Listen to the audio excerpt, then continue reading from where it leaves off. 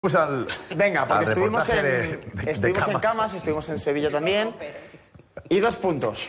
El ver. Estadio de Lisboa, Estadio de Luz de Lisboa y Camas, Sevilla. ¿Cómo lo vivieron la gente de Sergio Ramos? ¿Cómo lo viven sus entrenadores? El antes y el después del gol. Bueno, pues esto ocurrió ahora que se han eh, cumplido dos años del mejor gol de la historia para mí. Ahí está, Sergio Ramos. Bueno, uno de ellos.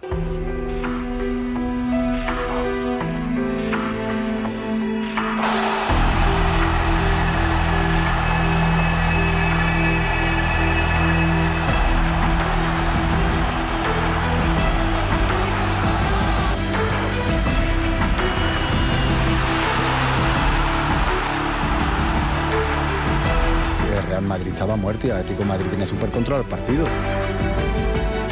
Un partido que lo manejó de maravilla el Atlético de Madrid. El Madrid yo ya lo veía, digo, esta gente ya están aquí que no pueden más.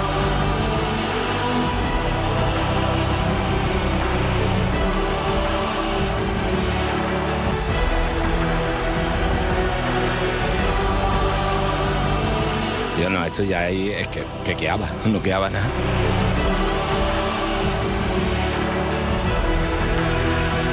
Hombre, estaba jugando un partido un poco mediocre, pero bueno. el fútbol eh, hasta el final, pues bueno, pues puede pasar lo que pasó.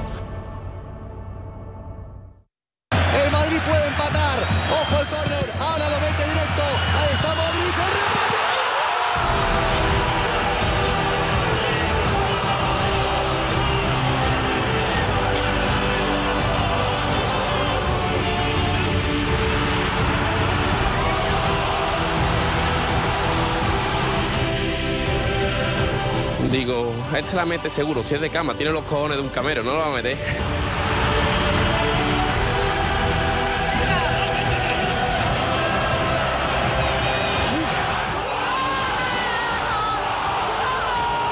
Última, última jugada, el Sergio de cabeza, verás tú, a balón parado. oh.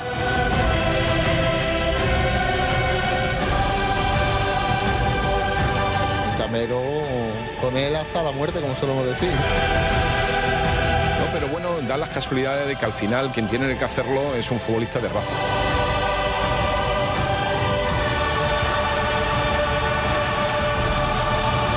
Y ahí cuando va la pelota, como la- es como la ligue por arriba, eso es cabeza dentro seguro, es gol seguro. vamos. Y un futbolista que en la última jugada, pues bueno, decide ¿eh? y va a pecho descubierto, va allí, ¿no?